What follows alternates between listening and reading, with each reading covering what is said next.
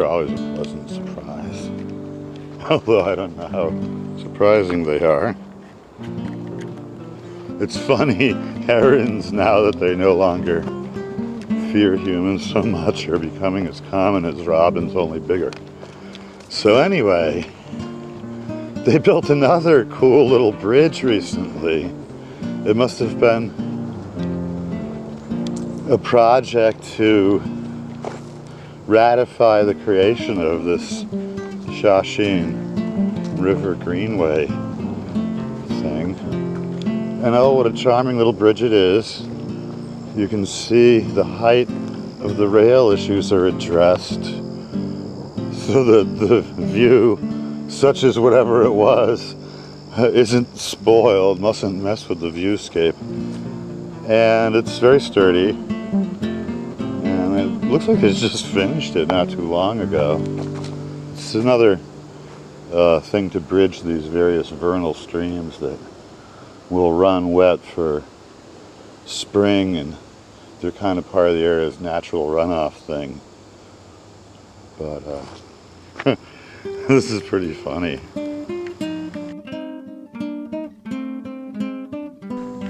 Yep, it's a beauty, all right.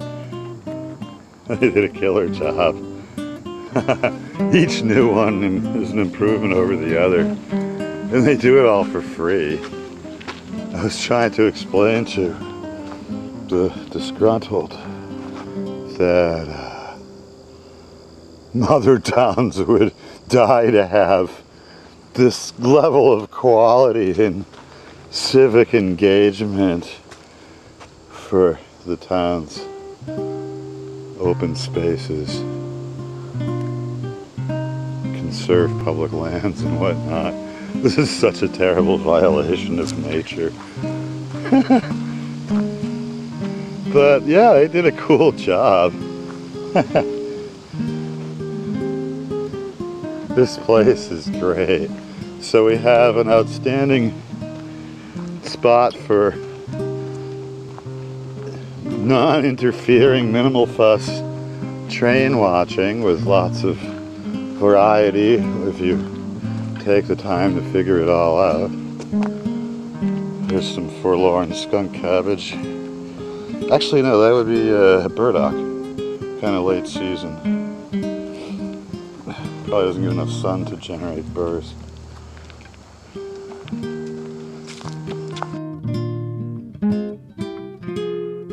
So the trail follows along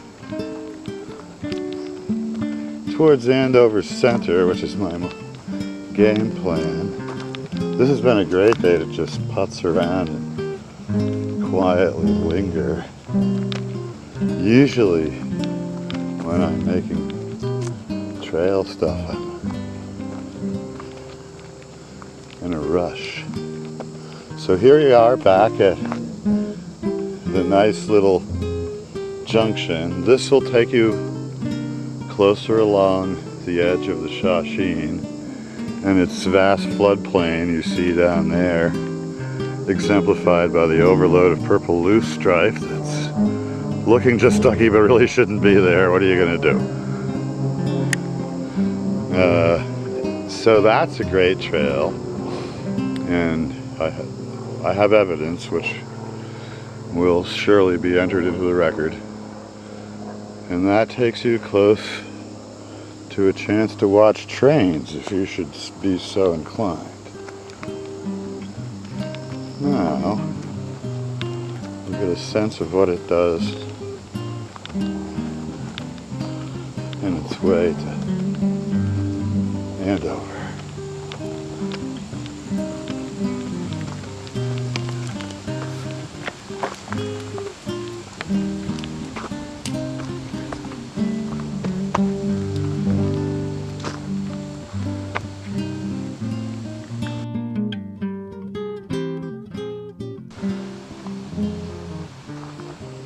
This way leads back to the Ballard Vale Station parking lot in close proximity to the childhood home of Jay Leno and many other wonders.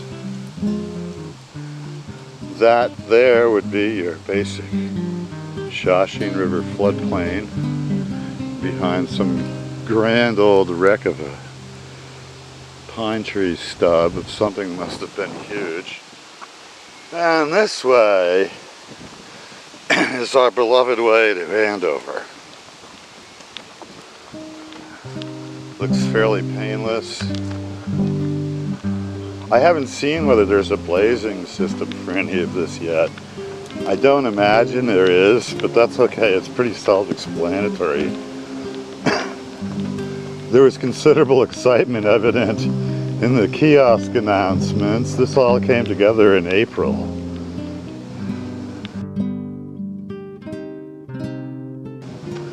So that's fairly impressive. And as with all of the things that the Andover Trails Committee community loves to do, uh, there'll no doubt be more as they identify impact spots and helpful ways to make it all more charming than it hopelessly is in the first place.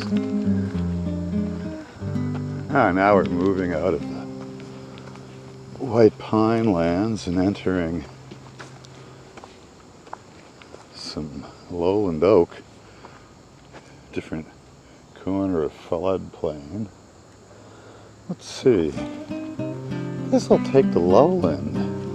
That looks sort of like a little excursion side trail.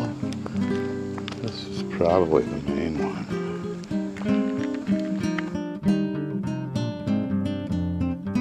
We're coming to one of the stone walls indicated on the map, so we actually have a working benchmark point in the grand art of figuring out where the heck we are.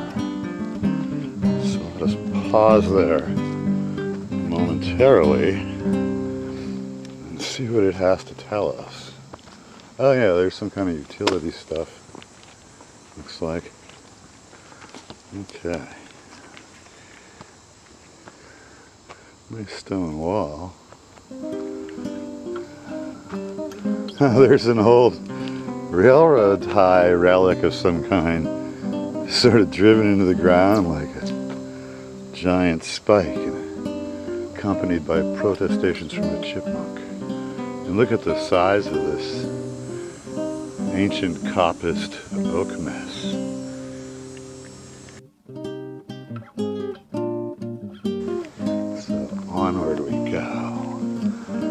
Which exact stone wall would this particular one be? Looks like we're coming to an open field. Transition of all that aldery birch stuff that colonizes a recently cleared bunch of woods. Entering the sun. Goldenrod waving ever briskly. yeah, that's power line land.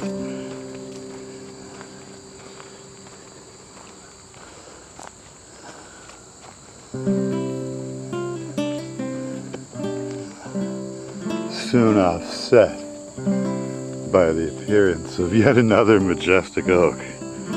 At this thing.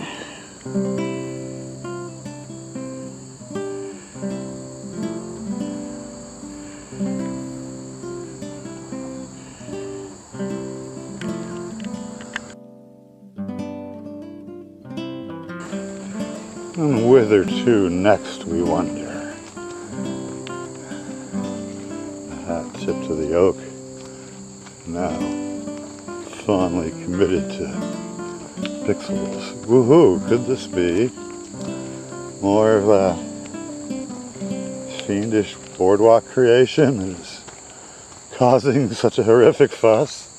Why, yes, I have a feeling it is. Oh no! I think I shall swoon. That looks like another nice job. old apple orchard and intertwined with grape. Big enough to run a Jeep on, probably an arrangement made to be helpful to the utility that has this right of way.